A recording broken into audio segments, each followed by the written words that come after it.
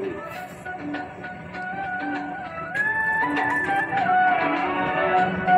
you.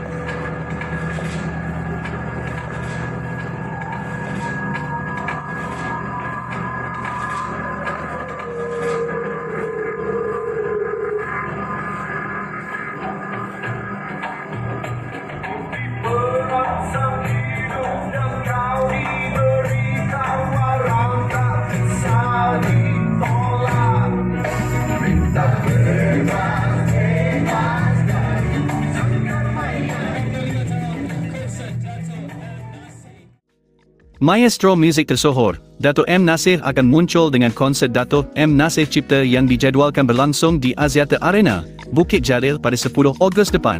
Konsert bertemakan pendekar dan tradisional itu bakal menyaksikan penghibur berusia 66 tahun itu bukan sahaja memperolehi lagu-lagu kesukaan ramai tetapi juga lagu yang pernah dicipta untuk penyanyi lain dalam pelbagai genre sempena meraihkan 45 tahun pembabitannya dalam industri seni. Saya akan menyanyikan lebih 40 lagu termasuk lagu yang saya ciptakan untuk penyanyi lain yang mungkin orang tidak tahu itu adalah lagu yang saya tulis.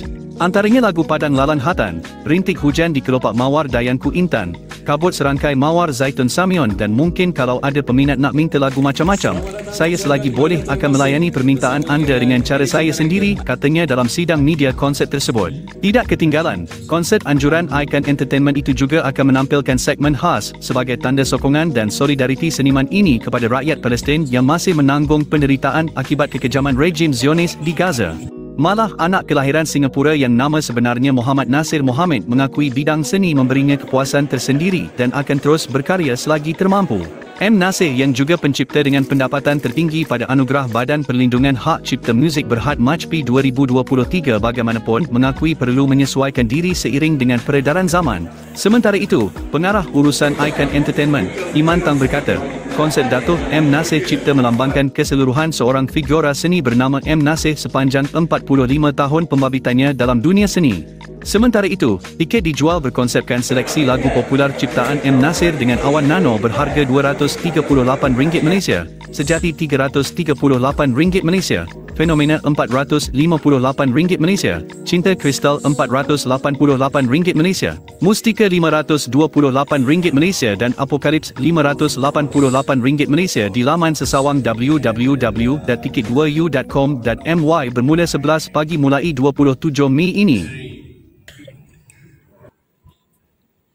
Bagaimanakah ku mula dan apakah kata-kata yang indah untuk diabadikan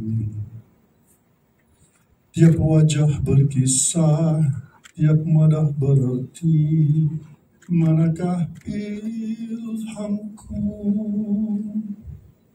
Cahaya di matamu Senyum di bibirmu mengukir seribu tanda pertanyaan Mungkinkah kau jua dalam kerinduan Di saat begini aku merindukan Okay. Dato' M. Nasir! Assalamualaikum. Jangan lupa dapatkan tiket Cipta besok 27 pukul 11 pagi.